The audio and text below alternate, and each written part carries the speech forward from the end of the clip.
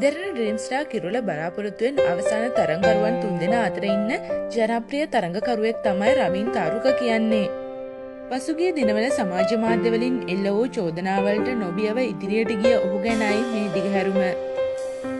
ඔබත් ත්‍රීම්ස්ටා අවසන් මහා තරගයට තරන් කරනවා ලොකු සතුරකින් නේද ඇත්තේ ඔවු ඇත්තරම ගොඩක් ලොකු සතුරක් තියෙනවා තරගේ ඇතුළේ මේ වගේ දුරක් එන්න පුළුවන් වේ කියලා බලාපොරොත්තුවක් තියාගෙනද හිටියේ බලාපොරොත්තුවක් නම් තිබුණා හැබැයි දක්ෂය ගොඩක් අතරේ මට මේ තරම් ඉදිරියට එන්න පුළුවන් වෙයි කියලා නම් හිතුවේ නෑ.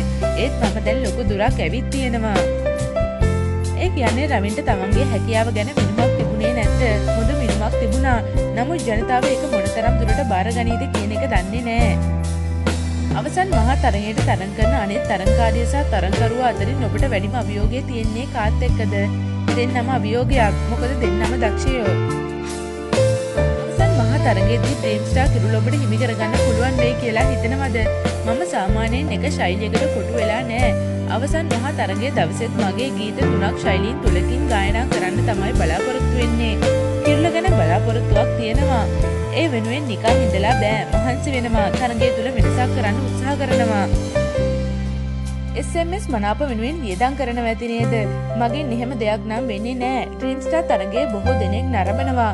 මං ඒ ප්‍රේක්ෂකයන්ගෙන් එක මනාපය බැගින් හරි ගන්න අලුත් දෙයක් කරනවා. රවින්ගේ පවුලේ විස්තර කියමු.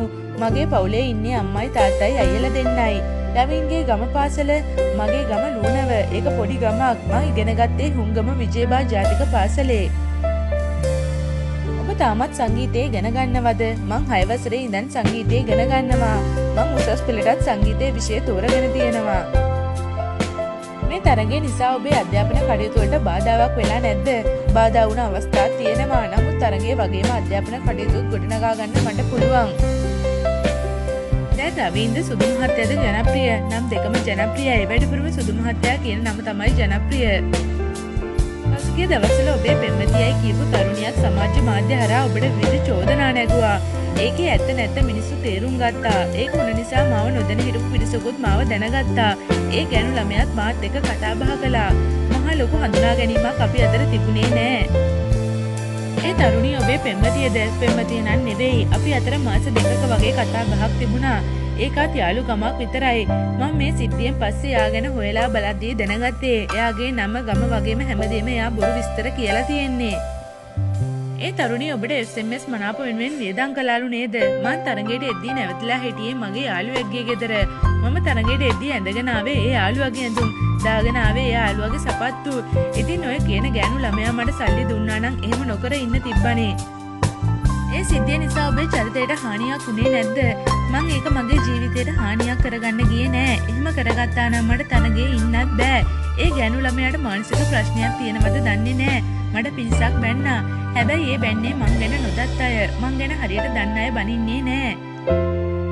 රවින් අනාගත ගමනට තෝරගන්නේ ගායන භූමිකාවද? මං මේ තරගෙන් පස්සේ වෙනත් හොඳ නිර්මාණ ටිකක් කරන්න බලාපොරොත්තු වෙනවා.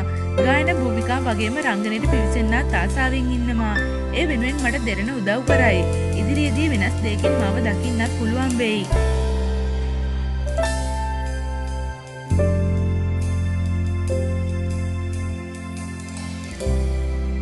තාමත් අපිව සබස්ක්‍රයිබ් කරලා නැත්තන් දැන්ම අපව සබස්ක්‍රයිබ් කරන්න. බෙල් බට්නය කලික් කිරීමෙන් අපගේ නවතම වීඩියෝ දැන් ඔබට නරබන්න පුළුවන්.